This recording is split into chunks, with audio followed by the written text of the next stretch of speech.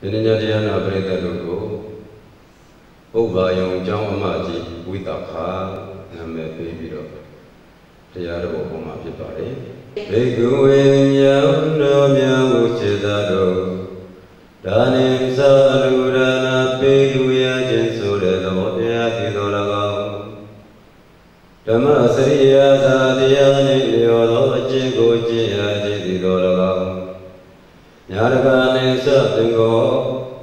ဆွေမျိုးတို့အားသင်ကြိုထောက်ပံ့နေဆိုတဲ့သဘောတရားဒီတော်၎င်း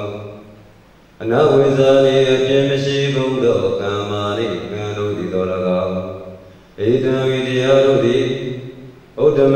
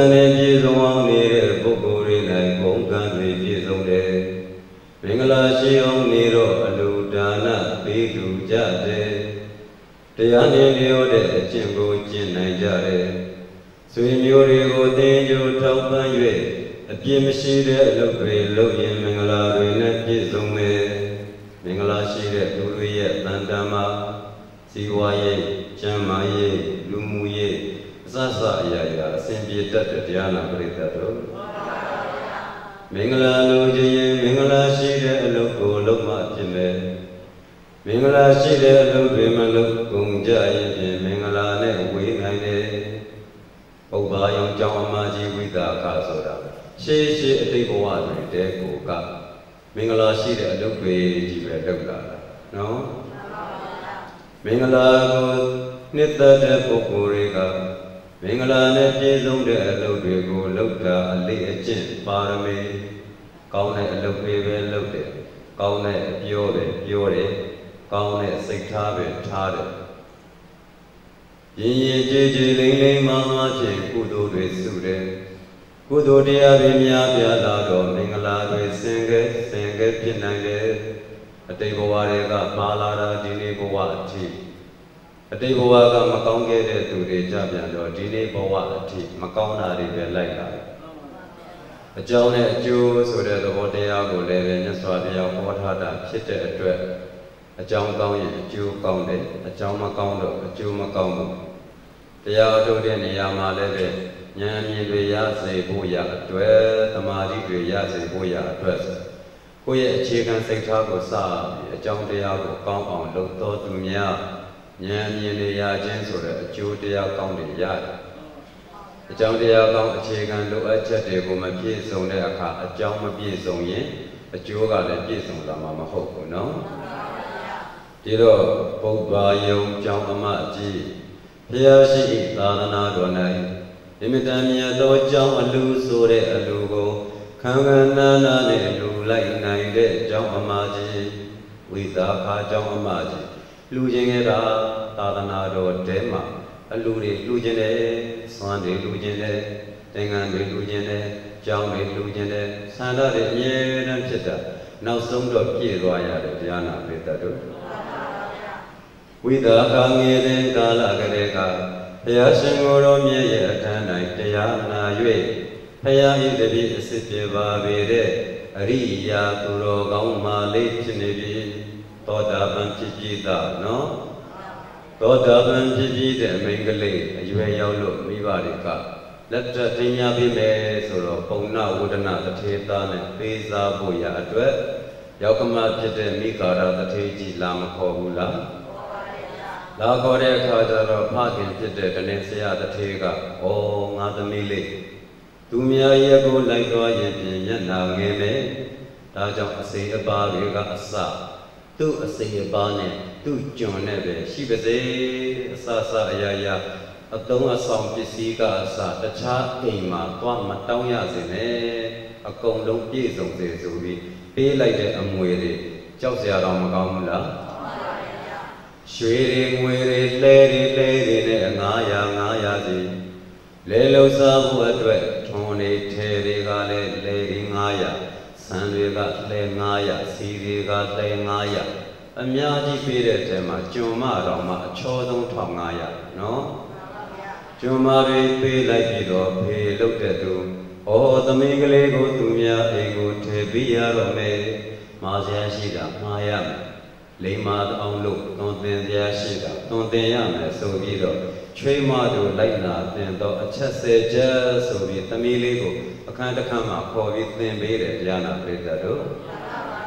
တနည်းစရာတထေကြီးဒီသမီးလေးကိုဆုံးမစကားဆိုဖို့ရအတွက်တိုက်ခန်းတစ်ခုတည်း၌ဆုံးမနေစဉ်တစ်ဖက်ခန်းတည်းကနေရောက်ခမဖြစ်တဲ့မိကာရတထေကြီးဖြောင်းနာထောင်နေကြတယ်ဒီဘက်က ဖေးလုံးတဲ့သူကသမီးကိုသမီးရဲ့ရောက်ကမအိမ်ကိုတော့ရောက်သွားတဲ့အခါ၌သူများအိမ်မှာနေရတဲ့အခါ၌ချွေးမတွေကျင့်တရားကျင့်ဝတ်ဆယ်ပါရှိတယ်ချွေးမတွေကနံပါတ်1အတွင်မိကိုအပသို့မထုတ်အပ်ပေနံပါတ်2အပြင်မိကိုအတွင်းသို့မသွင်းအပ်ပေနံပါတ်3ဘေးသောသူကိုသာလျှင်ပေးရမယ်နံပါတ်4 မပေးတဲ့သူတွေကိုမပေးအပ်ပေနံပါတ်5ပေးသောသူအား၎င်းမပေးသောသူအား၎င်းပေးအပ်တယ်နံပါတ်6ချမ်းသာစွာထိုင်နေအပ်တယ်နံပါတ်9ချမ်းသာစွာစားအပ်တယ်နံပါတ်10ချမ်းသာစွာအိပ်ဆက်အပ်တယ်နံပါတ်9မိကိုလုံကျွေးအပ်တယ်နံပါတ်10အိမ်တွင်းနှက်ကိုရှ िख ိုးအပ်တယ်သမီးကိုအချက်ဆယ်ချက် သင်လိုက်တဲ့တရားနာပရိသတ်တို့ဒီတော့ဒီအချက်သက်ချက်ကိုဖေးလုပ်တဲ့သူကအခန်းထဲမှာသင်ပေးသမီးလေးသူများအိမ်ရောက်ရင်နော်ဒီအချက်တွေကိုမမေ့နဲ့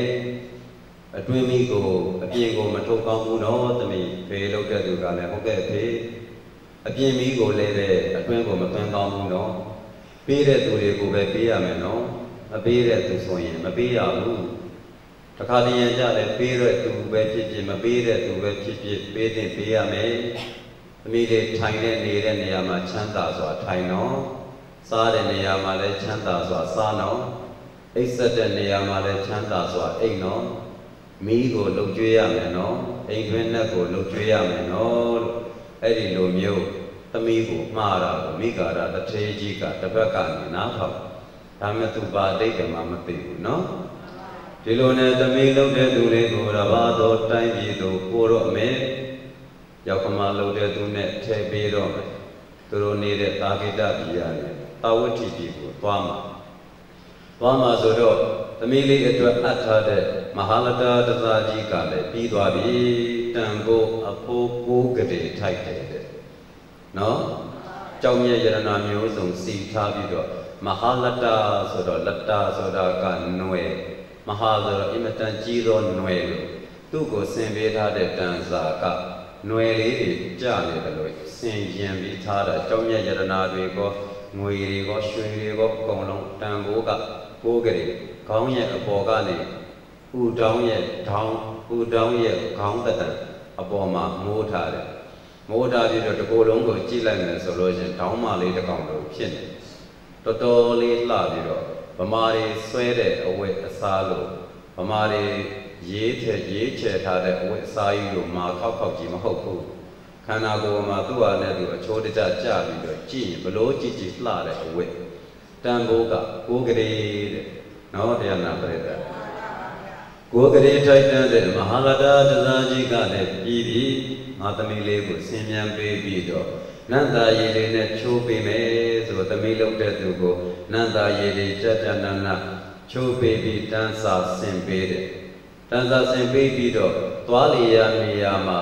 သူရောက်တဲ့နေရာမှာရေချိုးဖို့ရေချိုးတဲ့အခါမှာစက်ပြတိုက်ဖို့ဆိုပြီးတော့စက်ပြဟိုပေးလိုက်တာ54ကလေးတဲ့နော်တရားနာပြိတ္တာငါသမီးလေးသူများအရဲ့ရောက်လို့ရှိရင် ရေချိုးတဲ့အခါမှာမွေးမွေးကြိုင်ကြိုင်စပ်ပြတိုက်နိုင်ဖို့54ကလေးလိုချင်လိုက်တာနော်54ကလေးစပ်ပြဖို့ဒါစပ်ပြဖို့ပဲရှိသေးတယ်စပ်ပြဆိုတာဘာပြန်ရတယ်ဘာမှပြန်မရတဲ့ပစ္စည်းမျိုးတော့54ကလေးပေးလိုက်တာ54ကလေးတို့တွေလည်းမုံပိုးရတယ်နော်54ကလေးပေးလိုက်ပြီးပေးပြီးတော့တာဂေတပြီးထုံဝန်းကျင်မှာသူနဲ့ပတ်သက်ရပတ်သက်ကြောင်းလူတွေ သူ့နောက်ကိုလိုက်မဲ့ကျွန်းလေးကိုမနေ့ကဟောခဲ့တယ်လို့ပဲမာသမီနောက်ကိုဘယ်သူတွေလိုက်ကြမလဲလို့သူတို့ရဲ့ခိုင်းစေထားသောအလုသမားများရှိတဲ့ရွာတွေကိုမောင်းတီးပြီးတော့စီလဲစီပြီးတော့ပြောလိုက်တဲ့အခါမှာအကုန်လုံးကဩတို့သခင်မှာသွားပြီးဆိုရင်ဖြင့်ဒီရက်ဒေသမှာနေခဲ့လို့ဘာအကျိုးရှိတော့မလဲ ဝိသာခါနောက်ကိုပဲလိုက်မယ်ဆိုပြီးတော့လိုက်ကြတာတရွာတရွာလူနည်းနည်းလေးနည်းနည်းလေးပဲကြံတော့တယ်နော်အကုန်လုံးလိုက်ကုန်ကြတယ်အဲ့တော့သူရဲ့ပိုင်ဆိုင်လာတဲ့ခရိုင်နဲ့ရွာတော်မဟုတ်ဘူးခရိုင်14ခရိုင်14ခရိုင်ကရှိတဲ့ရွာတွေတဲကအကုန်လုံးသူတို့ခိုင်းစေထားတဲ့ကျွန်းခိုင်းစေထားတဲ့ကျွန်းတွေမှာရွာတွေတည်ပြီးထားတာဆိုတော့ဘယ်လောက်ချမ်းသာမလဲစဉ်းစားကြည့်နော် အဲ့တော့တမင်စရာတထေးကြီးကအာသမီလေးကိုသူများမျိုးကိုထဲမှာဖြစ်တဲ့အတွက်ကြောင့်တာဝိတ္တိပြည့်ရှင်ကောသလမင်းကြီးကိုလည်းပဲပူဇော်တင်တာပူဇော်ရောက်ကမဖြစ်မဲ့မိဂါရတထေးကြီးအတွက်လည်းလက်ဆောင်တွေပေးတင်တာပေးအားလုံးစီစဉ်ပြီးတော့သမီးကလေးကိုပို့လွှတ်လိုက်တယ်သမီးလေးပို့လွှတ်လိုက်တဲ့အခါမှာရိုးရိုးတန်တန်မပို့သေးဘူးစစ်တပ်တွေပို့ပါတယ်ဒီတထေးကစစ်တပ်ရှိသေးတယ် အဲ့ဒီစစ်တီဘိုးဘာတွေအများကြီးခြံရံပြီးတော့မှမင်းတို့ကအမြဲတမ်းအဆောင်အလျှောက်လုပ်စေလုပ်ပြီးတဲ့အခါကျတော့သူ့လက်အောက်တထေး၈ယောက်ရှိသေးတယ်သူ့လက်အောက်တထေး၈ယောက်ကိုခေါ်ပြီးမောင်မင်းတို့လာကြမောင်မင်းတို့ကငါသမီးလေးရောက်ခမအိမ်ရောက်သွားလို့သူများအိမ်မှာနေတဲ့အခါအပြစ်တစုံတရာရှိလို့ရှိရင်သင်တို့ကဒီအပြစ်ကိုကူညီပြီးရှင်းပေးကြသမီးကိုအမြဲစောင့်ရှောက်ကြဆိုတထေး၈ယောက်ထည့်ပေးတယ် အဲ့တော့ထည့်ပေးတယ်ဆိုတော့စဉ်းစားကြည့်ပေါ့ရိုးရိုးတန်းတန်းထည့်ပေးလိုက်တာမဟုတ်ဘူးဒီတထေးကဟိုရောက်လို့ဘာအလုံးမှမလုပ်ဘဲနဲ့ထိုင်စားလို့ဖြစ်မလားဒီတော့တထေး၈ယောက်ထည့်ပေးလိုက်တယ်ဆိုတဲ့ကောကအဲ့ဒီတထေး၈ယောက်ကစီးပွားရေးအချမ်းအရံအကုန်လုံးတည်ရမှာအဲ့တထေး၈ယောက်ဒီဝိတာခာနေတဲ့အရက်နောက်ကိုလိုက်သွားပြီးတော့ဝိတာခာကိုစောင့်ရှောက်ပေးရမယ်အပြစ်တစုံတရားရှိလို့ရှိရင်ဝိတာခာဘက်ကနေပြီးတော့ ကြားနာပြီးမှန်ဤမှားဤစဉ်းစားဆုံးဖြတ်ပြီးတော့ဖြည့်ရှင်းပေးရမယ်ဆိုပြီးတနေ့စရတထေသမီးကိုစိတ်မချလို့ထည့်ပေးလိုက်တယ်အဲ့လိုထည့်ပေးလိုက်တဲ့အခါကျတော့မှရောက်ခမလောက်တဲ့မိဂါရတရေကြီးလမ်းခကြီးမှာသွားပြီးရှေ့တုန်းကနေရှင်ဘရင်သွားရှင်ဘရင်နောက်ကနေတခြားသောပရိသတ်တွေပရိသတ်တွေဝိတာခနဲ့တကွာသူ့ရဲ့အချံရံမိန်မ900 900အပြင်ကိုဝိတာခကို ဝိတာခကိုအစသရရဝေယဝိသလောက်ရမယ်ကျွန်မအချောက1500ကျွန်မအချော1500ဆိုတာလဲကျွန်မတွေကြီးပဲစီးသွားတဲ့ယထာက900ယထာတစီကိုကျွန်မ300နော်အဲ့လိုမျိုးတွေထည့်ပေးလိုက်တဲ့အပြင်တခြားသောပရိသတ်တွေပရိသတ်တွေအခုနောက်မှာမရှိမဖြစ်လူတွေပါသွားပြီးတဲ့အပြင်ခုနခရိုင်ပေါင်း14ခရိုင်ကရှိတဲ့ရွာတွေကထွက်လာတဲ့သူတွေအနောက်ကတပြုံကြီးလိုက်လာတော့ရောက်ခမကြီးကနောက်ဆုံးကမှလိုက်တာ နောက်ဆုံးကလိုက်တော့သူ့အနောက်မှာအဲ့လိုလူအုပ်ကြီးတွေ့တော့ဟဲ့အဲ့လူအုပ်ကြီးကဘာတွေတုံးအဲ့ဒါဝိတာခာရဲ့အစေအပကြေးကျွန်တွေပါ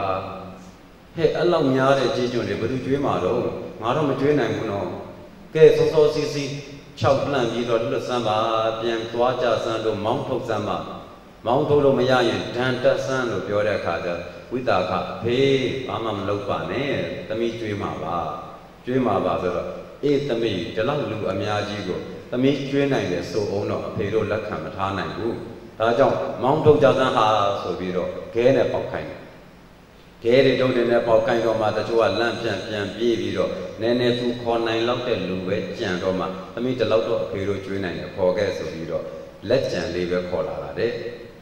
အဲ့လိုမျိုးနဲ့အကုန်လုံးသွားကြတဲ့အခါကျတော့မှအိမ်ကိုရောက်ပြီအိမ်ကိုရောက်လာတဲ့အခါကျတော့ဘလို့ဖြစ်တယ်လဲ တာဝတိမျိုးတဲ့ကိုဝင်တယ်ဆိုတာနဲ့ဘုံကံကြီးတဲ့မိမဆိုတော့နော်သူ့ရဲ့နေရာကိုသမီးတောင်းဖို့အတွက်လာကြတော့ကမိကာရတထေက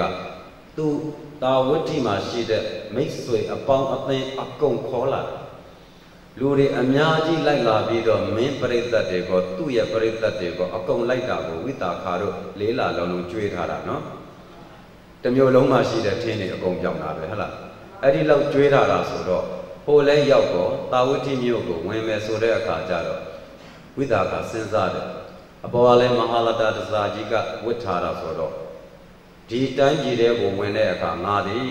ငါကိုမမြင်ရတဲ့လုံလုံချုံချုံအဆောက်အဦလုံလုံချုံချုံယထာတဲ့ကပဲလိုက်ရမလားသို့မဟုတ်ဒီမဟာလတတစာကိုလူတွေအများသိရအောင်လို့ယထာအမိုးမရှိတဲ့ယထာကနေလူများမြင်အောင်ဝင်ရင်ကောင်းမလားစဉ်းစားတယ် စဉ်းစားတဲ့အခါကျတော့အေးလေဒီလောက်တောင်ကိုးကလေးတောင်အကုန်ခံပြီးချုပ်ထားတဲ့ငါအဖေကငါအတွက်စေရနာရှိလို့ချုပ်ပြတဲ့အဝတ်အစားဘလောက်ခံနာတယ်ဆိုတာလူတွေကိုပြရအောင်မှာပေါ့လို့ပြောပြီးတော့အမိုးမရှိတဲ့ယထာကနေတင့်တင့်တက်တက်လိုက်ပြီးတော့ကြွားကြွားကြွားကြွားလေးဝင်လာတယ်တဲ့အားလုံးကိုလက်ကလေးပြလက်ကလေးပြကျုံကျုံရွှွှွှနဲ့သူ့မဟာလတာတစားလေးကလည်းပဲစင်ထားတဲ့အရာလေးတွေမှာ လေပြွန်လိုချောင်းလေးတွေချောင်းလေးတွေကလည်းပါတော့လေတက်ရင်အဲ့ဒီပြွန်လေးတွေကတူရိယာတန်တွေထွက်တယ်တဲ့အဲ့ဒီလိုမျိုးအတန်လေးတွေကလည်းတာတာရရအဝိစားကနေထွက်နေတယ်ချွင်ချွင်ဖြစ်နေမဲ့များသောအတန်မျိုးစုံထွက်မဲ့အရာလေးတွေလည်းအကုန်လုံးတွဲလောင်းလေးတွေချတော့တအားလှအဲ့တော့ဒီလောက်လှအောင်ဝစ်လာပြီးကမှလူမမြင်သူမမြင်အမိုးပိတ်နဲ့သွားရမယ်ဆိုပဲဖြစ်မလဲငါ့ကိုအမိုးဖွင့်ယထာတစ်ခုစီစဉ်ပေးစမ်းဆိုမြို့ဝင်မှာ အမိုးပွင့်ယထာလေးနဲ့အရှိကမြင်းလေးလေးကောင်ကသူကအနောက်ကယထာအမိုးပွင့်လေးယထာအမိုးပွင့်လေးကနေမတက်ကလေးရက်ပြီးအားလုံးကိုတတ္တာပါရှင်တတ္တာပါရှင်ပေါ့ဟုတ်လားဒီလိုမျိုးလောက်ပြပြီးတော့သူလှလာလေးပြသွားတော့ဟာကြည်စမ်းဝိတာခနာမည်ကြီးချက်ကြီးလိုက်စမ်းသူနာမည်ကြီးတာနဲ့နာမည်ကြီးတာနဲ့ကိုကိုက်နေတယ်ဒါလောက် ကြီးမားတဲ့စီးစိမ်ချမ်းသာဆိုတာဒီမိမနဲ့မှကြိုက်တာပေါ့လို့တာဝတိမျိုးတစ်မျိုးလုံးအုပ်အော်တောင်းနှင်းဖြစ်ကုန်ကြတယ်ဝမ်းသာအားရဖြစ်ကုန်ကြတယ်တဲ့။အော်ဒီမိန်းကလေးဘုံကံကြီးမားတယ်ကြည်စမ်းလှကလည်းလှပါပြီချမ်းသာကလည်းချမ်းသာပါပြီသူ့နဲ့နာမည်နဲ့လူနဲ့လည်းတိုက်လိုက်ပါပြီတယ်တထေသမီးဖြစ်ရတာလည်းပဲတန်ပါပြီတယ်ဒီမိန်းကလေးနဲ့အင်မတန်တင့်တယ်တာပဲဆိုပရိသတ်တွေက အုပ်အော်တောင်းနေတောင်းတောင်းဖြားဖြားကြိုးဆိုကြတယ်တဲ့ကြိုးဆိုကြတဲ့အခါကျတော့သူတို့မြို့ကိုလာတော့ကသူကအကုန်လုံးကိုကျွေးမွေးထားတာဆိုတော့တာဝတိမြို့တွင်ရောက်ခမအိမ်ကိုရောက်တယ်ဆိုတာနဲ့တာဝတိမြို့ကလူတွေအကုန်လုံးလာတွေ့ကြတယ်။ဩဝိသခာဆိုတာကအင်မတန်စိတ်ရင်စေရနာရင်ကောင်းတဲ့မိန်းကလေးပါ။တို့တွေသူတို့မျိုးကိုသွားတော့ကအဆအဆအရာရာလိုလေသေးမရှိအောင်စောင့်ရှောက်တယ်ကြွေးမွေးတယ်ဘ သူဘသူကိုမှဗတ်လိုက်တယ်မရှိဘဲနဲ့ငါတယောက်တည်းကိုပို့ပြီးတော့ဦးစားပေးနေတယ်လို့ထင်ရအောင်လူတိုင်းလူတိုင်းကိုဂယုစိုက်ခဲ့တယ်ဘယ်သူကမှမျက်နာလိုက်ပြီးတော့ကြွေးတယ်လို့မထင်ရအောင်ဂယုစိုက်ခဲ့တာတဲ့လူတိုင်းဟာသူတယောက်တည်းကိုပို့ပြီးဦးစားပေးတယ်ထင်ရအောင်ကိုအဲ့ဝေချေတာပဲအဲ့တော့ဝိသကအိဝိကျေတဲ့အခါကျတော့အခုတတိအိမ်ကိုရောက်လာပြီဆိုတော့ပါဝတိမြို့တစ်မျိုးလုံးလာပြီးလက်ဆောင်တွေလာပေးကြ အင်မတန်အဝိကျေတဲ့မိန်းကလေးလည်းဖြစ်တယ်အင်မတန်ရင်ကျေးတဲ့မိန်းကလေးလည်းဖြစ်တယ်တို့မြို့ကိုရောက်လာပြီးမှတို့တွေဒီတိုင်းနေလို့ပဲဖြစ်မလဲလက်ဆောင်သွားပေးကြတာဗောဆိုနိုင်ရနိုင်ရလက်ဆောင်တွေအကုန်လာပေးကြပေးလေပေးရောဝိသကာကအိမ်ကနေပစ္စည်းတွေလက်ခံလက်ခံပြီးတဲ့အခါဒီတယောက်လာရင်ဒီပစ္စည်းကိုလက်ခံဟိုတယောက်ပေးသွားတဲ့လက်ဆောင်ပြန်ပြီးတော့ပေးလိုက်ဟိုတယောက်လာရင်နောက်တယောက်ပေးသွားတဲ့လက်ဆောင်ကိုပြန်ပေးလိုက်ကျမအဖေကိုဒီပစ္စည်းပေးလိုက်ပါ ကျမအမေကိုဒီလက်ဆောင်ပေးလိုက်ပါကျမရဲ့မောင်ကြီးကိုဒီလက်ဆောင်ပေးလိုက်ပါကျမရဲ့မောင်ငယ်လေးကိုဒီလက်ဆောင်ပေးလိုက်ပါကျမရဲ့အမကိုဒီလက်ဆောင်ပေးလိုက်ပါကျမရဲ့ညီမလေးကိုဒီလက်ဆောင်ပေးလိုက်ပါ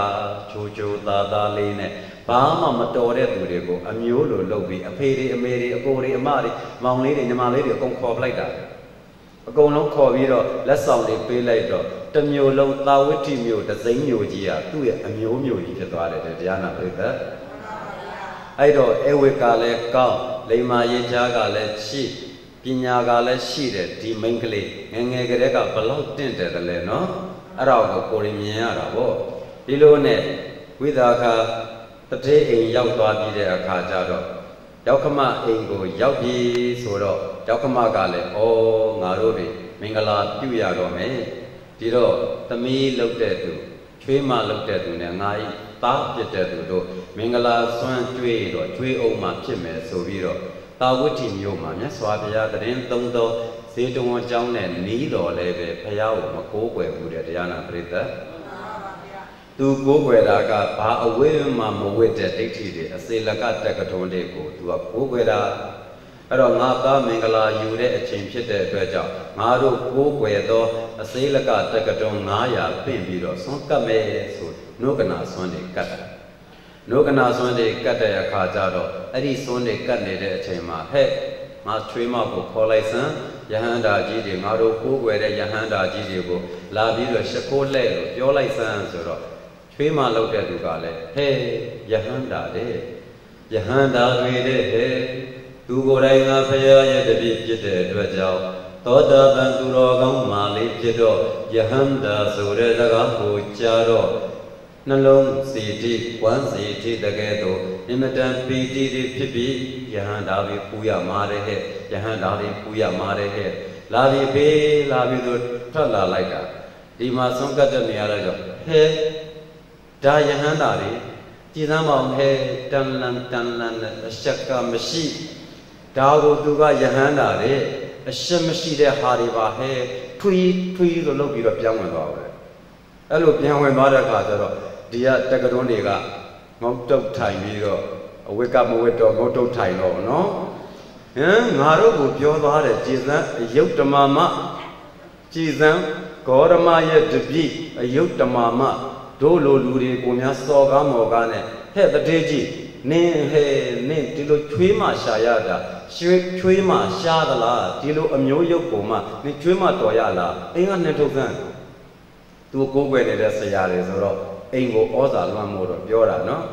အဲ့တော့ဟိုကချွေးမလောက်တဲ့သူကလည်းအိမ်နဲ့ကြားသားပဲခက်တီတီနဲ့ပြန်ဝင်သွား လက်ကမျိုးရုပ်တွေသူတို့ကိုသူတို့ရဟန်းတာပဲကြည်စမ်းပါဟဲအင်းတွေကိုမရှိဘူးယိုသူမရှက်မြင်သူရှက်သူတို့မြင်ပြီးငါအံ့အောင်အံ့ခြင်းပါရဲ့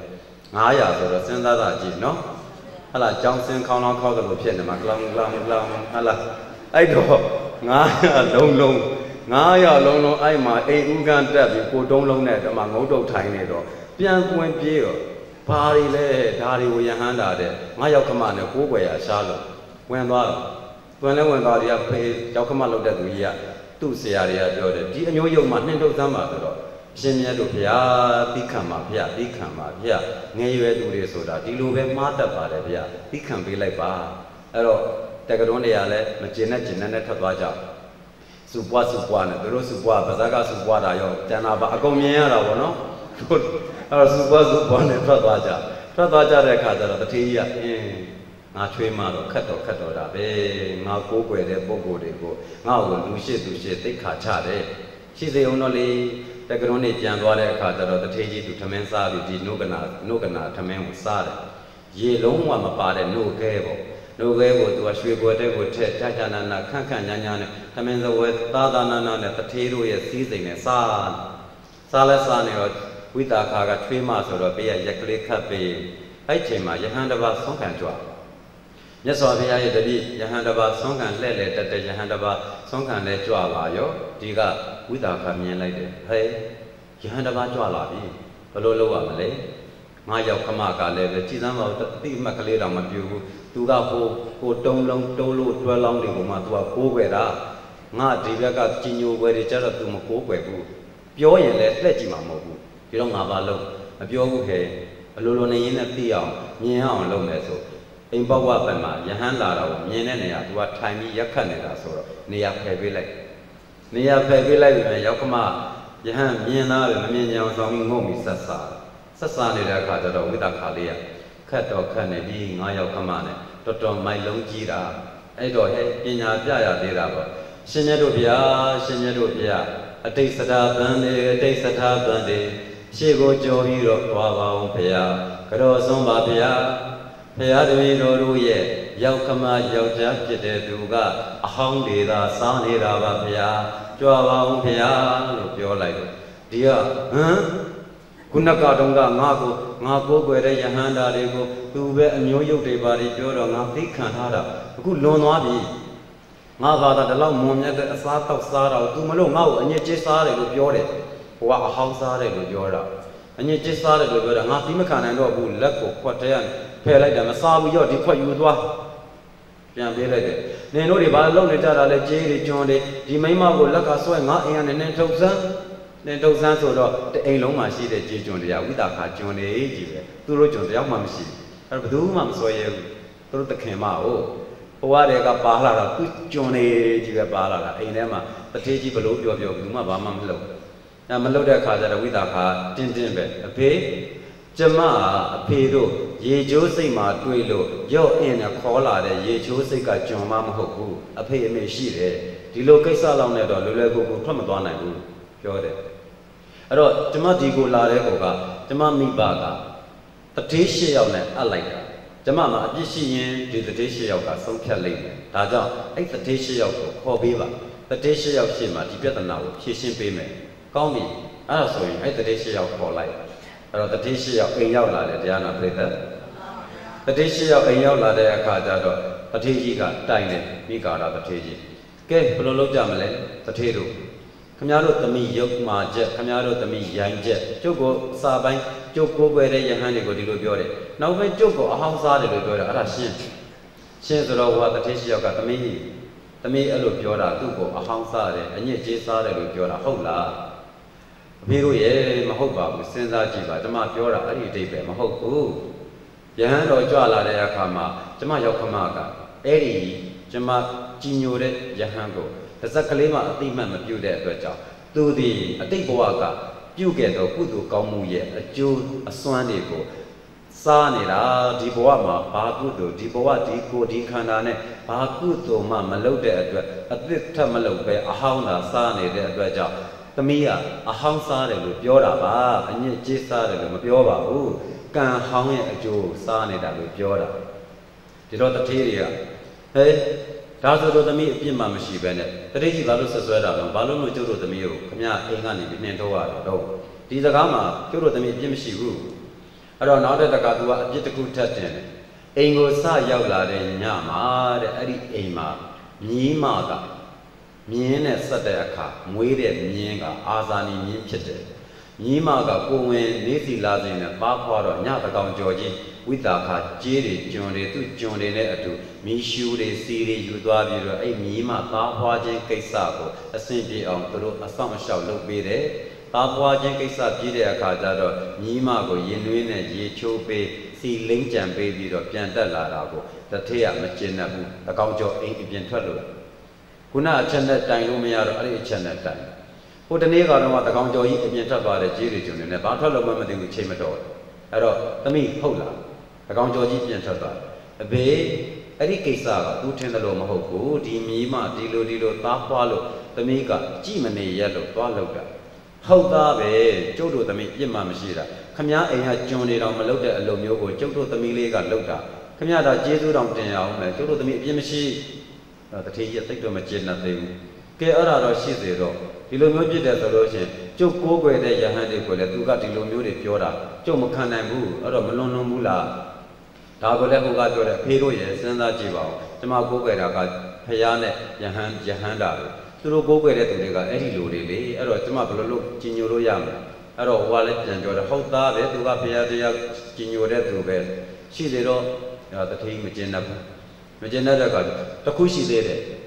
သူကကျုပ်အိမ်ကိုလိုက်မယ်လုပ်တဲ့အခါမှာသူတို့သားဖနှစ်ယောက်တဲ့အခန်းထဲမှာတိုးတိုးတိုးတိုးနဲ့တိုင်ပင်ပြီးတော့အချက်၁၀ချက်ကိုသူသမီးသင်ပေးလိုက်တာအဲ့ဒါကျုပ်ဘယ်လိုလုပ်ရမလဲ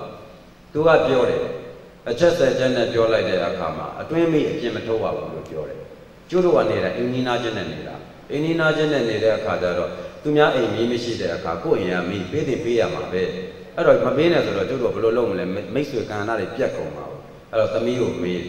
တထေးရှိယောက်ကမေးတော့အဖေတို့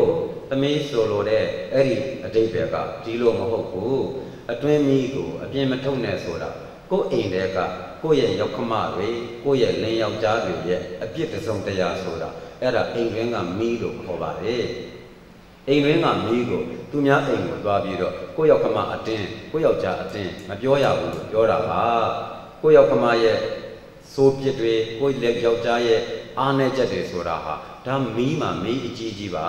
အဲ့ဒီမီးကိုအပြင်မထုတ်ရဘူးသူများကိုမပြောရဘူးလို့ပြောတာပါတစ်ချက်ကဲဟုတ်ပြီလေအဲ့ဒီချက်ကဟုတ်ပြီဆိုဒါဆိုလို့ရှင်အပြင်မီးအတွင်းမယူပါဘူးဆိုတာဘယ်နဲ့လုပ်မလဲကျိုးတို့အိမ်မှာအများနဲ့မီးရှိချင်မှရှိမှာတခါတလေကျိုးတို့အိမ်မီးပြတ်သွားတဲ့အခါသူများအိမ်ကမီးတွားတောင်းတင်တောင်းရမှာပေါ့အဲ့တော့မတောင်းပါဘူးဆိုကျတို့ကအမှောင်တဲပဲဒီတိုင်းနေရမှာဟောကပြောတော့သမီးဟုတ်လားအဖေအဲ့ဒီကိစ္စကလည်းတဲ့ အပြင်မေးအတွင်းမယူပါဘူးဆိုတာအပြင်ကလူတွေကကျမရဲ့ရောက်ခမတွေကျမရဲ့ယောက်ျားအကြောင်းအတင်းတွေပြောလိုက်လိမ့်မယ်အဲ့ပြောတဲ့စကားကျမကနားထောင်ပြီးအိမ်ထဲပြန်ပြောလို့ဘယ်ကောင်းမလဲအဲ့တော့သူတို့ပြောတဲ့စကားကိုအဲ့နေရာမှာလည်းထားအဲ့ဒီအတင်းတွေကိုအိမ်ထဲယူမလာရဘူးလို့ဆိုလိုတာပါအာသဘောပေါက်သွားတယ်တရားနာပြိတ္တအဲ့ဒီလိုနဲ့ဩဝါဒတွေကိုဒီတိုင်းပြောလာပြောလာတဲ့အခါကျတော့အကုန်လုံးရဲ့အတိတ်ပဲကတော့ ပေးသောသူကိုသာပေးပါဆိုတဲ့စကားကနံပါတ်3ပေးသောသူကိုပေးပါဆိုတဲ့စကားအတိတ်ပဲကတော့ကိုယ်အိမ်ကနေပစ္စည်းလာငှားတဲ့အခါငှားသောပစ္စည်းကိုပြန်ပေးတတ်တဲ့သူကိုဒါငှားပါတဲ့နောက်တစ်ခါမပေးတဲ့သူကိုမပေးနဲ့ဆိုတာကအိမ်ကပစ္စည်းတော့လာငှားတယ်ငှားပြီးရင်ပြန်မပေးတတ်တဲ့လူသားမျိုးကိုမငှားရဘူးလို့ပြောတာပါနောက်တစ်ချက်ကတော့ ပေးသောသူပဲဖြစ်ပါစေမပေးသောသူပဲဖြစ်ပါစေပေးရမယ်ဆိုတာကတခါတရံမှာကိုယ့်ရဲ့ဆွေမျိုးတွေအပေါင်းအသင်းတွေထဲမှာအင်မတန်မှချွတ်တယ်ပြီးဆင်းရဲတဲ့သူတွေရှိမယ်အဲ့ဒီဆင်းရဲတဲ့သူမျိုးတွေဆိုပြန်ပဲပေးနိုင်ပေးနိုင်ပြန်ပဲမပေးနိုင်မပေးနိုင်ပေးကိုပေးရမယ်ဆိုတဲ့အတိတ်ပဲပါလို့ပြန်ရှင်းပြတယ်တရားနာပရိသတ်အဲ့တော့နောက်တစ်တစ်ပံမီးကိုလှုပ်ကြွေးရမယ်ဆိုတဲ့စကားကြပြန်တော့မီးဆိုတာကကိုယ်အိမ်မှာရှိတဲ့ရောက်ခမ ကိုယ်အိမ်မှာရှိတဲ့လင်းယောက်ျားတို့ဒီမိဘုံကြီးကဲ့သို့ဖြစ်ပါတယ်ဒါကြောင့်သူတို့ကိုရိုသေစွာလှုပ်ကြွေးရမယ်လို့ဆိုလိုတာပါနောက်တစ်ခါနတ်လိုပဲပူဇော်ရမယ်ဆိုတာကိုယ်အိမ်ကရောက်ခမကိုယ်အိမ်ကလင်းယောက်ျားကိုနတ်ကိုကဲ့သို့နတ်ကိုမြင်ကျင်တဲ့သူတွေတွေ့တဲ့သူတွေဟာနှစ်သက်တဲ့စိတ်နဲ့ကြည်ကြမြင်ကြတယ်လို့ရောက်ခမနဲ့လင်းယောက်ျားကိုကြည်တဲ့အခါနှစ်သက်ဖွယ်ပုံစံနဲ့ကြည်ပါလို့ဆိုလိုတာပါအမြဲတမ်းနှစ်နှစ်သက်သက်နဲ့လောက်ရ အဲ့မှာမှဂျားမှာပြောသွားတော့ချမ်းသာစွာထိုင်ပါဆိုတဲ့အတိတ်ပဲကတော့ကိုယ့်ရဲ့ရောက်ခမတွေကိုယ့်ရဲ့ယောက်ျားတွေအနားရောက်လို့ရှိရင်အဲ့လိုမထိုင်တဲ့နေရာမထိုင်တာကိုပြောတာပါဒီနေရာမှာသွားထိုင်လိုက်ရင်အယိုးအသေးမရှိဘူးဆိုပြီးတော့ကိုယ့်ရဲ့ထိုင်ခြင်းဟာအပြစ်ဖြစ်မှာဖြစ်တဲ့အတွက်ကြောင့်ရောက်ခမတို့ယောက်ျားတို့အနားမှာရှိရင်မထိုင်ရဘူးဆိုတဲ့အတိတ်ပဲပါချမ်းသာစွာစားပါဆိုတာက စားတော့မယ်ဆိုလို့ရှိရင်ကိုယ့်ရဲ့ရောက်ခမနဲ့လင်ယောက်ျားကိုကိုက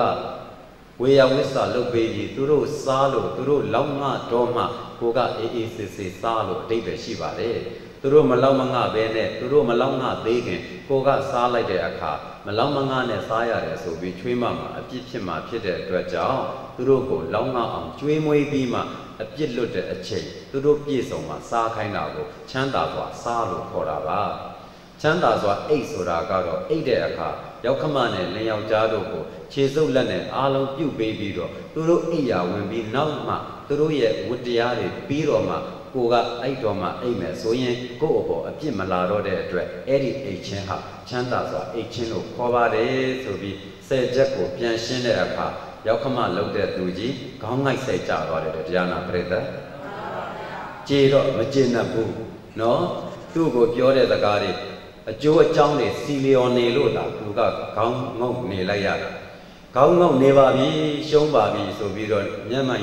မျက်မှောင်ချပြီးဒီတိုင်းကြီးနေနေကာမှတတိရှိယောက်ကကဲဘယ်နဲ့ရှိစားခမရခုနဗျာကြီးကြီးကျယ်ကျယ်သူ့ကိုသမီးလေးဒါတော့လိမ္မာရေးချရှိတဲ့သမီးလေးကိုခမရမလို့အိမ်ကနှင်ထုတ်မယ်လို့တယ်။ဘာကြောင့်နှင်ထုတ်တာတော့အခုဘာပစ္စည်းလို့တော့ခမရတော်တော်စိုးတာပဲဝိုင်းရှစ်ယောက်ဝိုင်းပြောတော့ခံနိုင်ပါမနော်။ရှစ်ယောက်ဆိုတော့စဉ်းစားတာကြည့်ပြီးတော့အပြင်တဘာဝအတိုင်းစဉ်းစားကြည့် သူတို့သမီးလေးကိုထိတယ်သမီးလိုပဲပေါ့နော်။အပ်လိုက်တာဒီတသေးရှစ်ယောက်နည်းနည်းရရလည်းမဟုတ်ဒီမိန်းကလေးကလည်းနည်းနည်းရရမိန်းကလေးမဟုတ်တေချာစစ်ကြည့်တော့ဘာအပြစ်မှမရှိတော့အပြစ်တင်တော့တာပေါ့ခမရဗျာခမရကျုပ်တို့သမီးလောက်လိမ္မာရေးချရှိတဲ့ဒီကလေးကိုခမည်းမလို့အပြစ်တင်အဲ့တော့ဝိုင်းပြောတဲ့အခါကျတော့ယောက်ကမလောက်တဲ့သူပိုးဆိုးသွားတယ်နေစရာနေရာကိုမရှိအဲ့မှာမှဝိတာခါကအဖေတို့ထားပါတော့ရှိပါစေတော့ကျမဟာ ကျမယောက်ကမစနှင်တဲ့အချိန်တည်းကအမှန်ဆိုကျမဆင်းသိပြီကျမမာနာနဲ့ဆိုစက်မနေသင့်ဘူးဒါပေမဲ့ဒီအပြစ်ဒီကိစ္စမှာကျမအပြစ်မရှိဘူးဆိုတာကိုအဖေတို့ရှေ့မှာသက်သေလုပ်ချင်လို့ဖေတို့ကိုခေါ်လိုက်တာအခုတော့ဒီကိစ္စမှာကျမအပြစ်မရှိဘူးဆိုတာရှင်းလဲရှင်းပြီးသွားပြီဖြစ်တဲ့အတွက်ဒီအိမ်မှာကျမဆက်လက်မနေခြင်းဘူးသွားမယ်ဖေဆိုပြီးကဲကြီးတွေကျွန်တွေတို့ငါသွားဖို့ယထာပြင်ကြလဲပြင်ကြအကုန်ပြင်ကြလုပ်တယ်တဲ့ လို့တော့မှအဲ့မှာမိဂါရတတိကြီးသမီးရဲ့တောင်းမှန်ပါလေဟဲ့ငါတောင်းမှန်ပါလေငါမှားပါပါလေနင်မသွားပါနဲ့ဟဲ့မသွားပါနဲ့ဆိုဆွဲတော့မှဝိတာကမာမာပဲဟလားမာမာနဲ့နေပြီအဖေကအခုမှကျမကိုဘာလို့ဆွဲနေလဲကျမမနေနိုင်တော့ဘူးကျမတာမမိမမမဟုတ်တာအဖေတို့ကျမကိုခင်းရွက်ကစုံလို့ဝယ်လာတဲ့သူမဟုတ်ဘူးအဖေတို့မလို့ဒီလိုမျိုး ပြောရက်ဒီလိုမျိုးနှင်ချရမှာတော့ဒီအိမ်ပေါ်ကျမဆက်နေလို့ဘာအတိတ်ပဲရှိမှာဟဲ့သမီးငါတောင်းပန်တယ်ငါနဲ့ကိုဘလို့တောင်းပန်ရမလဲဘလို့ပဲဖြစ်ဖြစ်အဖေမှားသွားတယ်မပြန်ပါနဲ့ကွယ်အဲ့တော့ဝိတာခဒီလိုဆိုရင်ကျမပြောမယ်အဖေကျမတို့ကဖယားနဲ့တရားနဲ့တန်ခါနဲ့နေတာ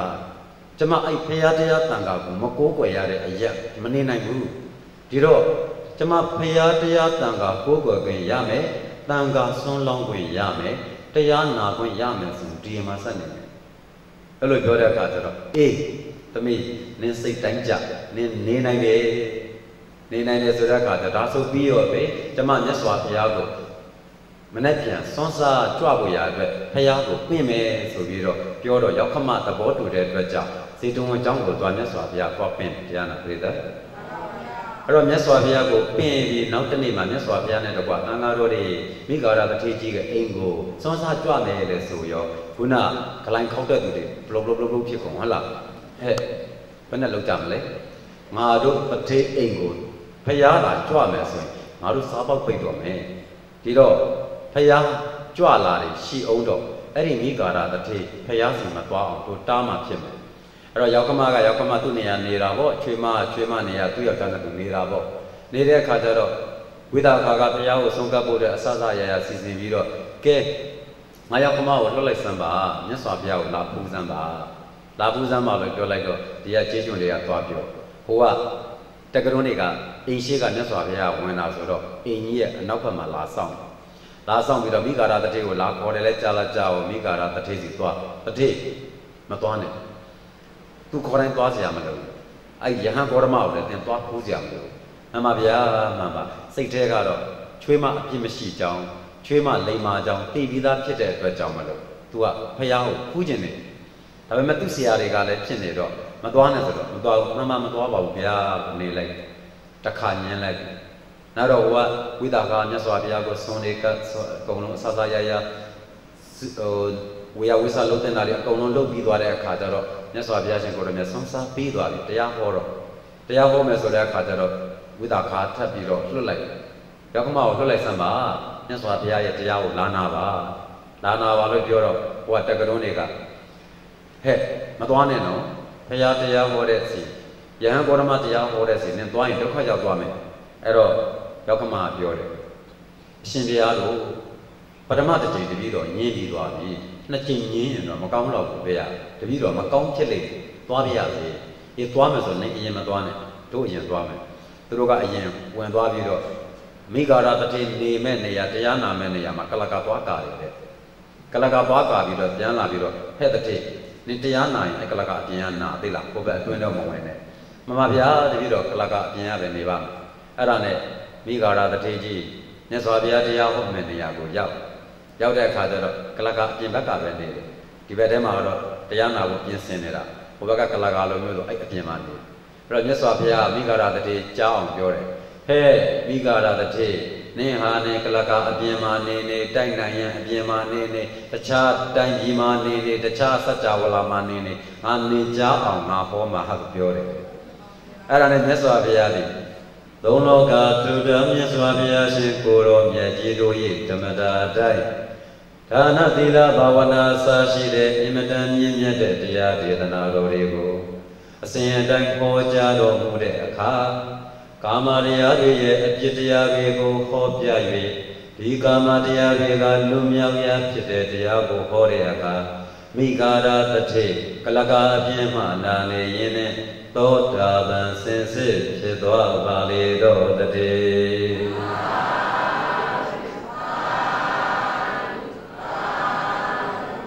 ရားတရားကိုနာလို့မြတ်စွာဘုရားကိုကြည်ညိုလာပါပြီဘုရားတရားကိုနာလို့မို့တရားတော်ကိုလည်းကြည်ညိုလာပါပြီဘုရားတရားကိုနာရလို့သံဃာကိုလည်းကြည်ညိုလာပါပြီဩရခဲ့တဲ့ငါရဲ့အခွင့်အရေးတွေ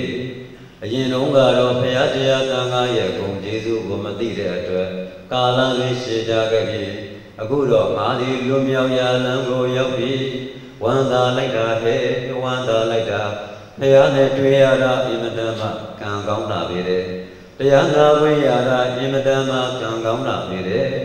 သံဃာတော်ရဲ့ကိုစီကပ်ရတာအင်မတန်မှကံကောင်းတာပဲတဲ့ငါကံထူးပဲတဲ့ငါချွေးမလေးကလည်းပဲအင်မတန်မှမြတ်တဲ့ချွေးမဖြစ်ပေတဲ့ချွေးမလေးရဲ့ကျေးဇူးတရားကြောင့်ငါဝိစင်ရဲ့ကလွန်မြောက်ရပြီ ဝမ်းမြောက်လုံးအားကြီးလို့ကလကာလေးလှပြီးတော့မြတ်စွာဘုရားနဲ့တကွဝိတာခါတို့နေတဲ့နားကိုသွားဝိတာခါအနားကိုကပ်ပြီးတော့ဝိတာခါရဲ့တမျက်ကိုကင်ပြီးတော့တမျက်ကိုငုံ၍သမီးဒီနေ့ကစပြီးတော့သမီးဟာအဖေရဲ့အမေဖြစ်ပါပြီသမီးကြောင့်မလို့အဖေတရားနာခွင့်ရတယ်သမီးလေးကြောင့်မလို့အဖေတရားနာခွင့်ရတဲ့အတွက်ကြောင့် ဩသန္တရာဝိစေကလွတ်မြောက်ရာလံကိုအဖေတွေ့ပါပြီမိမတန်မှာကျေးဇူးရှိတဲ့သမီးလေးကအဖေရဲ့ဒုတိယမြောက်မိခင်ဖြစ်ပါသည်အဲ့ဒီလိုမျိုးချွေးမရဲ့တမျက်ကိုကန်၍ငုံပြီးမအေးနေရာမှာထားလိုက်တဲ့အတွက်အဲ့ဒီနေရာနေ့ကနေစပြီးတော့ဝိတာခာရဲ့နာမည်ဒီမိခာရမာတာမိခာရဤမအေးဆိုတဲ့နာမည်တစ်ခုထပ်ရတယ်တရားနာပရိသတ်တို့ ဒီလိုနဲ့သုံးလောကဒုဒ္ဓမြတ်စွာဘုရားရှင်ကိုရောမြတ်ကြီးအရှင်ဘုရားသည်ဘုရားတပည့်တော်အတွက်အမြဲတမ်းမှာကျေးဇူးကြီးမြတ်တဲ့ထူးမြတ်တဲ့ပုဂ္ဂိုလ်ကြီးဖြစ်ပါတယ်ဘုရားဘုရားတပည့်တော်အရှင်ဘုရားရဲ့ခြေတော်တို့ကိုရိုသေးစွာနဲ့ဥခိုင်လိုက်ပါတယ်ဘုရားဘုရားရှင်ကိုရောမြတ်ရဲ့ခြေပမိုးလေးတွေကိုသူ့ကောင်းတဲ့ထိနှကန်းကလေးနဲ့စုပ် အဲ့လိုမျိုးဘုရားကိုကြည်ညိုလုံးအားကြည့်လို့တဲ့ဘုရားခြေရင်ဖတ်ပြီးတော့ကြော့တယ်တရားနာပြိတ္တအဲ့ဒီလိုမိဂါရတထေကြီးသောတာပန်ဖြစ်၍အင်မတန်ဝမ်းမြောက်ဝမ်းသာဖြစ်သွားတာကိုတွေ့တော့ဝိတာခါလေးကဟေးငါယောက်ကမကြီးကျိုးတူရသွားပြီဒီတော့မြတ်စွာဘုရားဘုရားတပည့်တော်တို့အိမ်တို့ချွတ်တင်သောပုဂ္ဂိုလ်များချွတ်တင်သောပုဂ္ဂိုလ်များကိုချင်းမြောက်တော်မူသောအဖြစ် မနဲ့ပြန်စွမ်းစားထပ်ပြီးတော့ကြွားပေးပါဗျာနောက်တနေ့စွမ်းစားထပ်ပင်တဲ့တရားနာပရိသတ်နောက်တနေ့မြတ်စွာဘုရားကြွလာပြီးအဲ့ဒီလိုတရားထပ်ဖို့ရောက်ခမမိမကြီးပါသောတာပန်ထပ်တည်တဲ့တရားနာပရိသတ်တို့အဲ့ဒီလိုနဲ့ဝိသခါကိုအကြောင်းပြုပြီးတော့ရောက်ခမတွေအကုန်လုံးသောတာပန်ဖြစ်သွားကြတော့မိသားစုကြီးတစုလုံးသည်သူတော်ကောင်းတွေ ဖရာတရားတန်ခါအတွက်ဆိုရင်တကားဖွင့်ထားသောမင်္ဂလာရှိသောအိမ်ကြီးဖြစ်သွားတယ်တဲ့တတိကတော်ကြီးသောတာပန်တည်ပြီးသွားတဲ့နောက်မှာဝိတာခါရဲ့အစဉ်သဖြင့်သားသမီးတွေထွန်းကားလာတဲ့အခါပထမဆုံးမွေးတဲ့သားကိုသူ့ရဲ့ရောက်ခမရဲ့နာမည်ပေးပြီးတော့မိဂါရာလို့နာမည်ပေးတယ်တဲ့မိဂါရာကရောက်ခမကလည်းသူ့ကိုမအေးနေရမှာထားလိုက်တာ မအေးနေရာမှာထားလိုက်ပြီးတော့ငါသမီးလေးကိုကျင့်နဲ့ရအောင်လို့ငါဘာလုပ်ပြီးရင်ကောင်းမလဲသူ့အဖေကဆင်ញမ်းပေးလိုက်တဲ့မဟာလတာတစားဆိုတာကကောင်းတော့ကောင်းပေမဲ့အင်မတန်လေးလံတော့အားကြီးတယ်လေးလံတော့အားကြီးတော့နေရာတိုင်းမှာလည်းပဲဝတ်ဖို့ရအတွက်အစင်မပြေဘူး ဒါကြောင့်ငါဒီလည်းပဲပေါ့ပေါ့ပါပါဘယ်ပြိဿအလဲဘယ်ပွဲမှာပဲဖြစ်ဖြစ်သွားလို့ရှိရင်ပေါ့ပေါ့ပါပါဝတ်လို့ရတဲ့အဝိတ္တန်စာတစ်ခုလက်ဆောင်လုပ်ပေးမယ်ဆိုပြီးတော့နောက်ထပ်အဝိတ္တန်စာတစ်ခုလုပ်ပေးတယ်တရားနာပြိဿအဲ့ဒီအဝိတ္တန်စာတစ်ခုကအဖိုးအဖြစ်တော့တသိန်းပဲထိုက်တန်တယ်တသိန်းထိုက်တန်ပေမဲ့အကုန်လုံးသူပြေးပြေးပြည့်အင်မတန်လှတဲ့ဝတ်ဆောင်ပါပဲတဲ့ကနမတ္တကလို့အမည်ရပါတယ်တဲ့ ခဏမတ္တကအမိရတဲ့မဟာလတာတစားကနေရာတိုင်းမှာမဝေဖန်တဲ့အဲ့ခဏမတ္တကဆိုတဲ့ရောက်ခမပေးတဲ့ဝိစုံနဲ့လည်းပဲအရက်တေသားတို့ကိုသွားတယ်တရားနာခြင်းလုပ်တယ်တဲ့အဲ့ဒီလိုနဲ့သူ့ရဲ့တန်တန်မှာတပြေးပြေးနဲ့သာသမီတွေထွန်းကားထွန်းကားလာတဲ့အခါမှာသူ့ရဲ့သားတွေသူ့ရဲ့သမီးတွေသူ့ရဲ့မြီးတွေသူ့ရဲ့မြစ်တွေအများကြီးပြက်လာပြီးဝိတာခါတွေအသက်120အရွယ်ထိနေတယ်တဲ့ ဒီတော့သူမွေးလိုက်တဲ့အခါမှာသားက10ယောက်သမီးက10ယောက်မွေးတယ်ဝိတာခါဒီသား၁၀ယောက်သမီး၁၀ယောက်မွေးပြီးတဲ့အခါအဲ့ဒီသားတစ်ယောက်ချင်းစီကလည်းပဲသား၁၀ယောက်သမီး၁၀ယောက်မွေးတယ်သမီးတစ်ယောက်ချင်းစီကလည်းသား၁၀ယောက်သမီး၁၀ယောက်မွေးတော့မြည်တွေထပ်ပြီးတော့အများကြီးဖြစ်တယ်အဲ့တော့မြည်အဆင့်မှာစဉ်းစားကြည့်မယ်ဆိုရင်သားတစ်ယောက်ကိုကလေးအယောက်20မမွေးဘူးလားသား10ယောက်ဆိုတော့200 သမီးတစ်ယောက်ကိုကလေးအယောက်20မမွေးဘူးလားသမီး10ယောက်ဆိုတော့200မြည်400ဖြစ်သွားတယ်နော်အဲ့ဒီမြည်400ဖြစ်သွားတာကမှမြည်တစ်ယောက်ချင်းစီကလည်းထပ်ပြီးတော့အယောက်20အယောက်20မွေးတယ်လေအဲ့ဒီမြည်ရမွေးတဲ့မြစ်တွေကလည်းအယောက်20အယောက်20မွေးတဲ့အခါမှာသူ့မှာသားသမီးမြေမြစ်အားလုံးသူ့အချံရံပြီး8420ရှိတယ်တဲ့တရားတော်ပြိတ္တ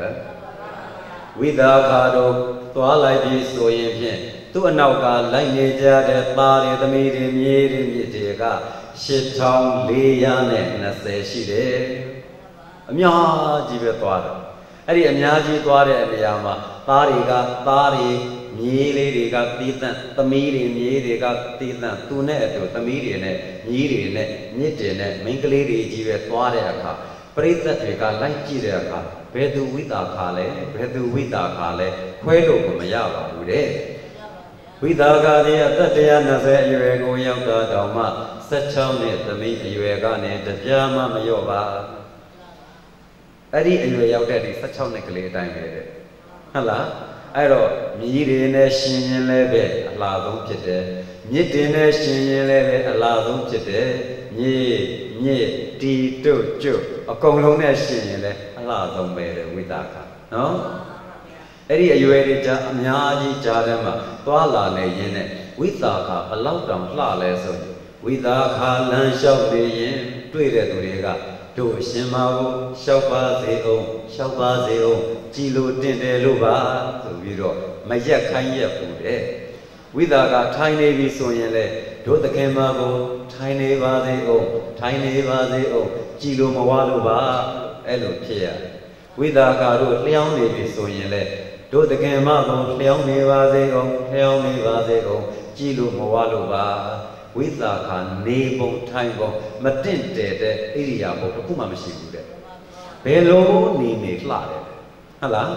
အဲ့တော့ထိုင်နေလဲလှတယ်လမ်းလျှောက်လဲလှတယ်တုံးလုံးလဲနေလဲလှတယ်ဘလို့နေနေလှတို့ယောဂီတို့လိုပေါ့ဟုတ်လားအဲ့လိုမျိုးဘလို့နေနေလှတဲ့အခါကျတော့အင်မတန်တင့်တယ်တဲ့အပြင်စင်ပြောင်ငါးစီးအာမန်ကကြီးသေးတယ်အဲ့ဒါကိုကောသလမင်းကြီးကဖေ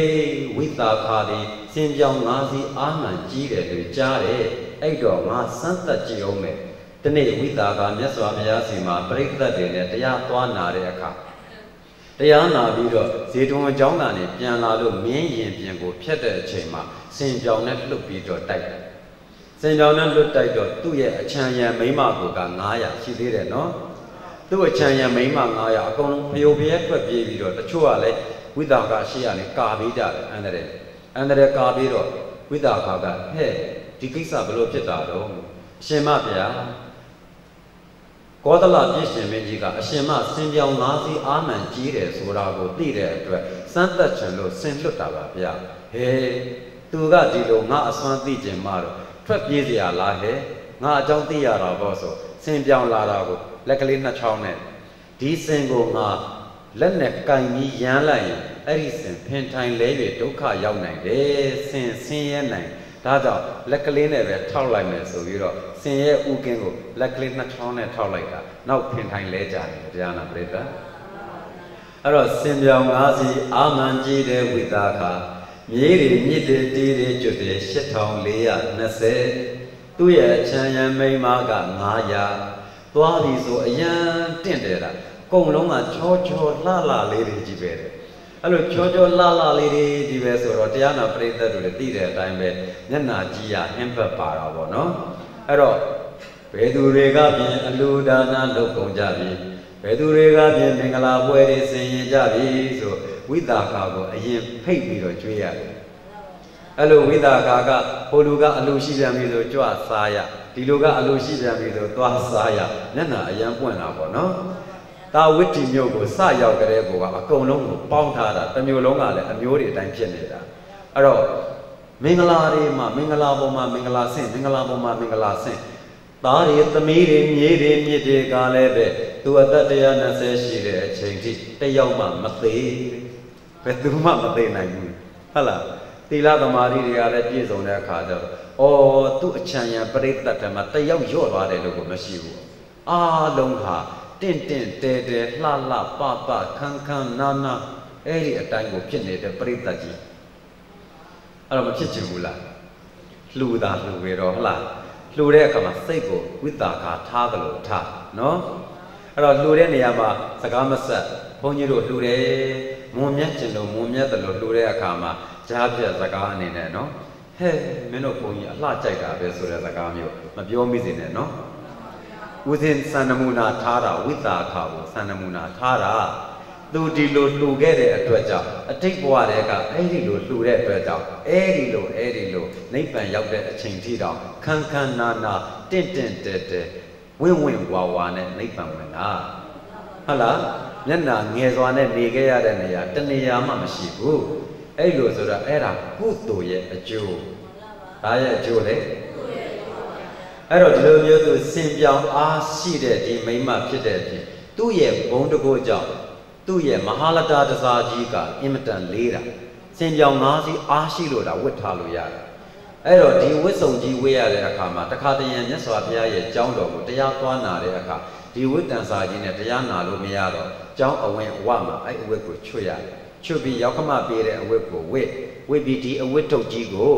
မဟာလတာတစားထုတ်ထားတဲ့အဝတ်ထုတ်ကြီးကိုဘေးမှာစင်ပြောင်၅စီးအားဆောင်တဲ့သူ့ရဲ့ကျွန်မရှိတယ်ပဲ သူ့ဘုံကံကြောင့်အဲ့ဒီကျွန်မကိုရထားတယ်အဲ့ကျွန်မကဒီအဝတ်ထုတ်ကြီးကိုပိုက်ပြီးအနောက်ကလိုက်ရတနေ့ကျောင်းမှာမြတ်စွာဘုရားတရားကိုနာရင်းနဲ့ကျွန်မကိုကဲအမိဒီအဝတ်ထုတ်ကိုယူလာခဲ့ငါဘုရားစီမှာတရားနာအောင်မယ်ပြီးတော့မှပြန်ဝတ်မယ်ကျောင်းကထွက်တော့မှဒီလိုနဲ့မြတ်စွာဘုရားစီမှာတရားနာကြတဲ့အခါပြန်ပြီးမြတ်စွာဘုရားစီတရားနာပြီးပြန်လဲထွက်ရောကျွန်မကအဲ့အဝတ်ထုတ်ကြီးမေ့ကြံခဲ့ အဝိတုကြီးမေးကြံခဲ့တဲ့အခါကျတော့အပောက်ဝရောက်တော့ကဲအမိငါမဟာလတာတစားကိုပြန်ပြီးစင်မြန်းတော့မယ်လို့ပြောတော့ရှင်မကြီးကျမမေ့ကြံခဲ့ပြီဟဲဒီလိုဆိုရင်မေ့ကြံလို့ရှင်ပြန်ကြည့်လိုက်အရှင်အာနန္ဒမတေကိုရောမြတ်ကကြံတဲ့ပစ္စည်းတွေမှန်သမျှကိုသိမ့်ထားတတ်တယ်လို့ကြားဘူးတယ်ကွယ်အရှင်အာနန္ဒမတေကိုရောမြတ်အကယ်၍မြတ်သူ၏လက်တော်ဖြင့်သုံးသပ်လိုက်ပြီဆိုရင်ဖြင့် ငါမဟာလတာရဇာကိုပြန်မယူခဲ့နဲ့တော့ကွယ်လှူခဲ့တော့ဟဲ့လို့ပြောတယ်အဲ့တော့ကျွန်မလုပ်တဲ့သူကပြန်ပြေးပြီးတော့သွားရှာကြည့်တော့အရှင်အနန္ဒမထေရကလည်းဒီအဝတ်တုပ်ကြီးတွေ့တော့မြတ်စွာဘုရားကိုရှောက်တယ်မြတ်စွာဘုရားဝိတာခါတို့အဝတ်ကြီးကြံခဲ့ပါတယ်မဟာလတာတန်းစာကြီးကြံခဲ့ပါတယ်ဒါကိုဘယ်လိုလုပ်ရမလဲတိမ့်ထားလိုက်ပေါ့ကွယ်ဆိုတော့တစောင်းရဲ့အပြင်ဘက်မှာအစွန်ဘက်မှာချိတ်ထားတယ် ချိတ်ထားတော့ကျွန်မလာမေးတဲ့အခါကျတော့အေးငါအဲ့ဒီမှာချိတ်ထားတယ်လို့ပြောတော့မမအဲ့ဒီလိုဆိုရင်အရှင်မကမှားလိုက်ပါအရှင်မြတ်တို့ရဲ့လက်နဲ့သုံးသက်ပြီးပြီဆိုရင်ပြန်မယူပါဘူးလို့ပြောပါလေလှူလိုက်ပါတယ်လို့ပြောပါတယ်ဆိုပြီးထားပြီးပြန်သွားတယ်ဝိသခါစီရောက်တော့ဟဲ့ဘယ်နဲ့တော့ဆိုတော့အရှင်အာနန္ဒာသိမ့်ထားတယ်တဲ့အရှင်မ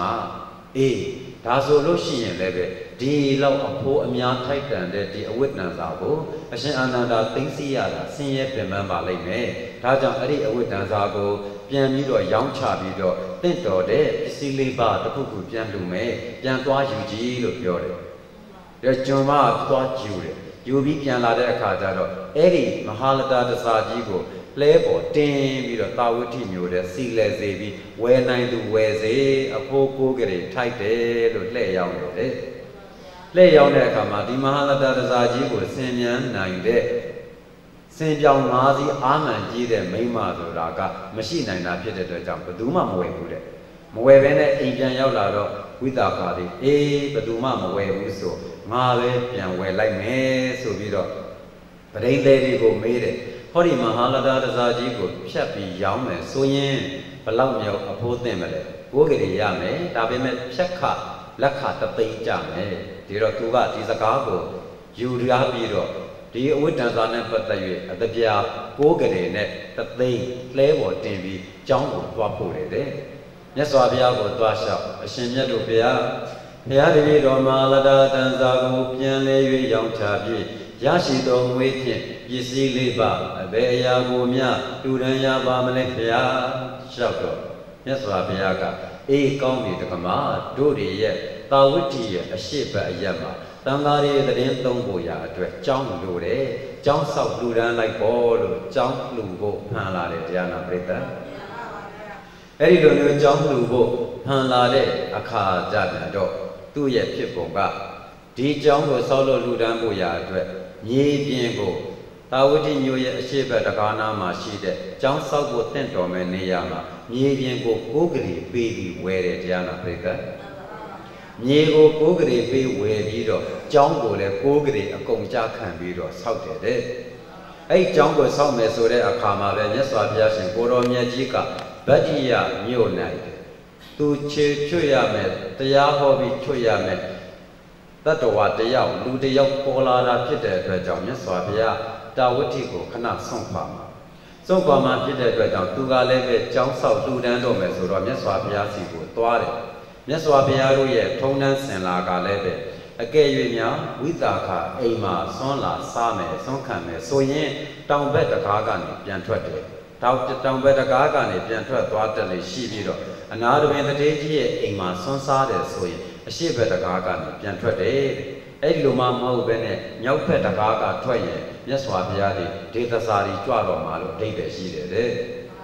အဲ့ဒီမှာမြတ်စွာဘုရားရှင်ကိုတော်မြတ်ကြီးကလည်းမြောက်ဘက်တကားကနေထွက်လဲထွက်ရောဝိတာခအကြောင်းအမကြီးက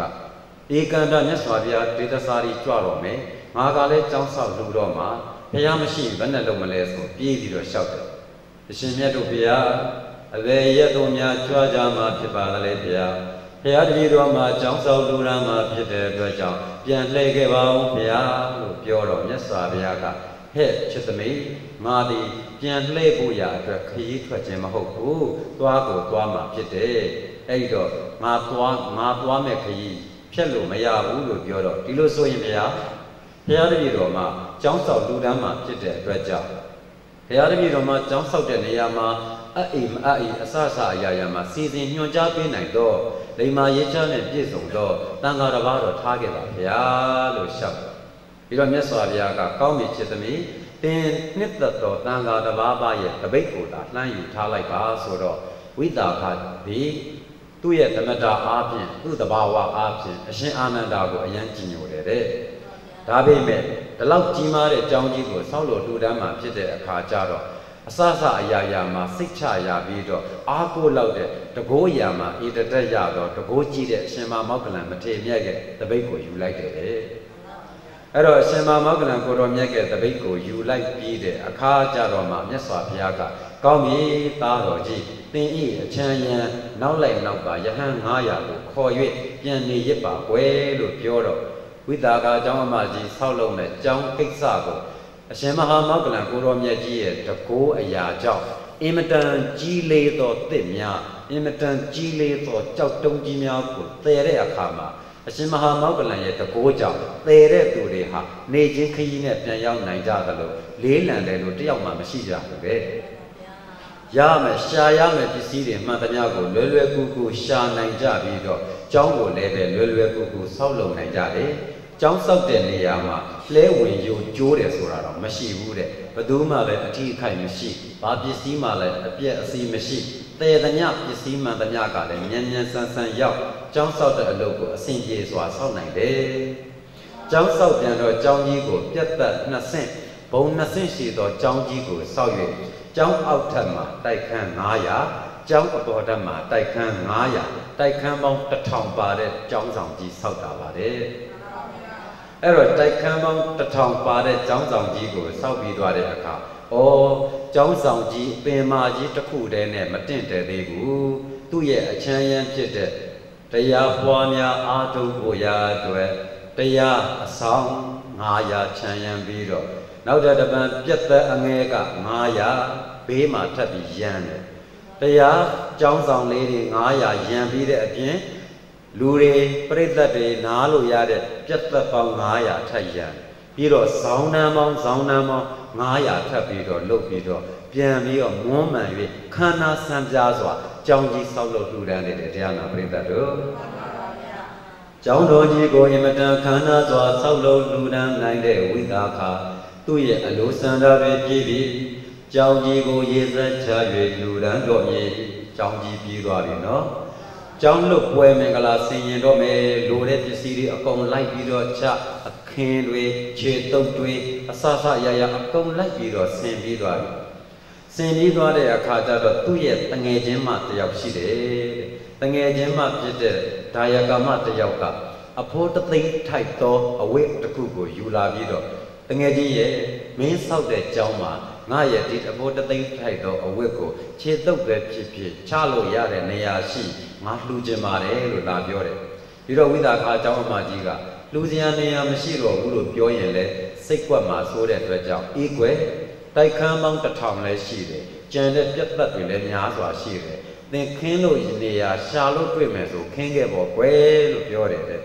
အဲ့တော့အဖိုးတသိန်းထိုက်တဲ့အဝတ်ကြီးနဲ့ကြောင်းတိုက်ခန်းတွေတိုက်ခန်းတွေအကုန်လိုက်ကြည့်တယ်အပြင်ဘက်ကခြေစင်းလေကားစင်းရင်ရင်တွေကအစအကုန်လိုက်ကြည့်တာ ခင်းစရာနေရာတနေရာမှမရှိဘူးတဲ့တရားနာပရိသတ်ဝိတာကခင်းထားသောအခင်းတွေမှန်သမျှသည်ဒီမိမရဲ့အဖို့တသိန်းထိုက်တဲ့အဝတ်ထက်ပိုပြီးတန်သောအဝတ်တွေကြီးပဲတဲ့အဲ့တော့တသိန်းတန်အဝတ်ကခြေတုပ်တောင်မထိုက်ဘူးဖြစ်နေတယ်တဲ့ခြေတုပ်တောင်မထိုက်တဲ့အတွက်ကြောင့်အဲ့ဒီသူ့တငယ်ချင်းမသည်ဒေကာရင်လေးတစ်ခုမှထိုင်ကြောင်းတောင်လေးထိုင်ပြီးထိုင်ငိုးနေတယ်ဟေကန်ဆိုးလိုက်တယ်ငါအဘိုးတသိန်းတိုက်တဲ့အဝတ်ကိုတော့မှ ဖျားနယ်တော့တန်ဃာတော်တွေကိုမုံမုံမြက်မြက်လူချင်းပေမဲ့ဒီအဝတ်တောင်နေရာမရှိဘူးဟဲ့ခြေတုပ်ဖို့တောင်မှနေရာမရှိတာကန်ဆိုးလိုက်တဲ့ငါထိုင်းငိုနေထိုင်းငိုနေတော့ညီတော်အာနန္ဒာကရောက်လာတဲ့အခါကျတော့ဒကမဘာလို့ငိုနေတာတော့လို့ပြောတပည့်တော်ဒီခင်းလေးဘယ်နေရာခင်းရမှမသိဘူးတပည့်တော်ရဲ့တငယ်ချင်းမအကြောင်းမှာကုသိုလ်လေးပါဝင်ခြင်းလို့လုပ်တာခင်းเสียနေရာတကွက်မှမတွေ့လို့ပါဒါကြောင့်ဝမ်းနဲ့လုံးလုံးငိုတာပါ ကဲလာလာလာစိတ်မကောင်းဖြစ်မနေနဲ့အဲ့ဒီအဝတ်ကိုဘယ်နေရာမှခင်းလို့မရရင်တန်ဃာတွေကျောင်းပေါ်တက်ခံပြီးဒီဇောင်းနှန်းလေကားရဲမှာခြေသေးကြလိမ့်မယ်အဲခြေသေးပြီးလို့ရှိရင်မင်းရဲ့အခင်းကိုခြေတုပ်ပြီးမှတက်ကြရမှာဖြစ်တဲ့အတွက်ကြောင့်ခြေသေးအင်းပြင်နာမှာခြေတုပ်လို့တဲ့ဦးဇင်းတို့တရားနာပရိသတ်တို့ခြေတော်ဆေးပြီးခြေတုပ်ရမယ်ဆိုတာတော်တော်ညင်းညစ်ပတ်ပတ်ထားမှာမလားတသိန်းတန်ဟာခြေဆေးပြီးခြေတုပ်တဲ့ခြေတုပ်နေရရတော့အဲ့ တော့ညီတော်အာနန္ဒာကကဲစိတ်အားမငယ်နဲ့တန်ဃာတိုင်းတန်ဃာတိုင်းကျောင်းပေါ်တက်ရင်ခြေဆေးရမယ်ခြေဆေးရင်ခြေတုပ်ရမယ်ဒါကြောင့်မင်းရဲ့ခြေတုပ်ကိုတန်ဃာတိုင်းအသုံးပြုမှာဖြစ်တဲ့အတွက်ကြောင့်အကျိုးကျေးဇူးများပါလိမ့်မယ်ဆိုတော့မှကျေနပ်သွားရှာတယ်တရားနာပရိသတ်အဲ့တော့ဘုရားရှင်ကိုရောမြတ်ကြီးလည်းကိုးလာကြတဲ့အခါမှာ တာဝတိကိုပြန်ရောက်တယ်ဝိသာခာကျောင်းအမကြီးတွေလည်းကိုးလာပြည့်တဲ့အခါမှာကျောင်းကိုအဆဆရရအကုန်စီစဉ်ခြင်းမွမ်းမံခြင်းတန်စာဆင်ခြင်းအကုန်ပြီးတဲ့အတွက်ကျောင်းလွတ်မင်္ဂလာပြုလုပ်၍ပုဗ္ဗာယုံကျောင်းတိုက်ကြီးကိုဘုရားရှင်ကိုရောမြတ်နဲ့တကွတန်ဃာတော်အပေါင်းဆံမြန်းမှုရအတွက်တာဝတိမြို့ကြီးတွင်ပုဗ္ဗာယုံကျောင်းအမကြီးရဲ့လို့ထင်ရှားစေခြင်းအကျိုးငါကျောင်းလူခွင့်အလိုကြီးကို ကောင်းစွာမသွေရရှိသွားပါပေတော့တည်း